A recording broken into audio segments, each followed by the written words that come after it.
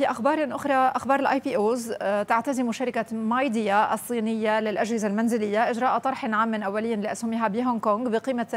3.5 مليار دولار وفقا لصحيفة The Financial Times ومن المتوقع أن يتم الإدراج والتداول في 17 من سبتمبر الجاري. مما يجعل إدراج Midea أكبر طرح عام أولي في هونغ كونغ منذ إدراج شركة JD Logistics في مايو 2021 والذي كان جمع 3 مليارات و600 مليون دولار. جدير بالذكر أن هونغ كونغ جمعت حوالي 2.5 مليار دولار من الاكتتابات العامة الأولية في العام 2024